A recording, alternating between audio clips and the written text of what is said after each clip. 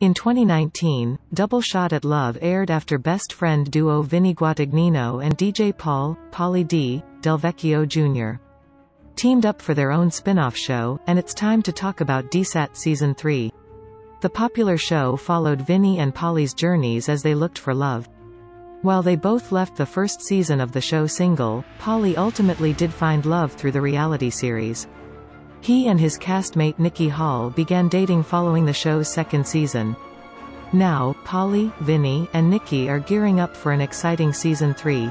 Back in April, MTV confirmed that Double Shot at Love Season 3 got the green light. Since Pauly has already found love with Nikki, the show will be taking a different approach during the new season.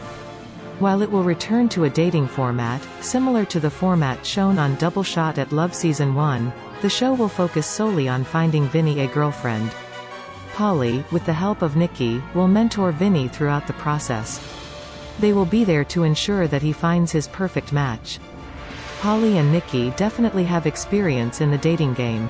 Earlier this month, MTV released the official trailer for the new season, as well as a premiere date.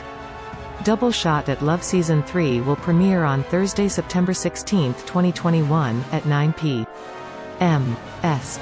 The show will take the place of Jersey Shore, Family Vacation, as the current family vacation season will come to an end in two weeks.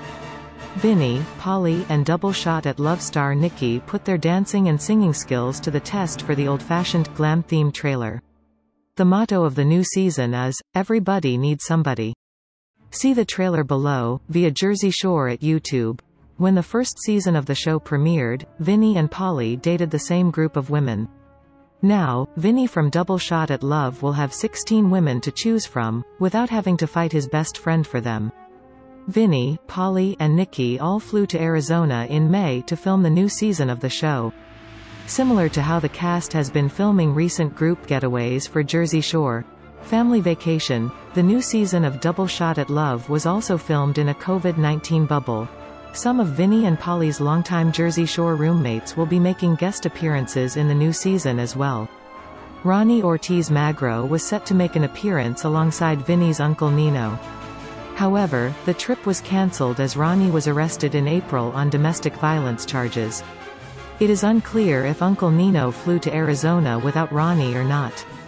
Reality star Nicole, Snooki, Polizzi and Jenni, JWoww, Farley flew to the private resort to film cameo appearances together. While filming for Double Shot at Love Season 3 wrapped a while ago, fans still don't know if Vinny found love on the show. If he did, he and his new girlfriend have been doing a good job of keeping their romance low-key until the new Double Shot at Love Season premieres. Sources. MTV, Jersey Shore, YouTube.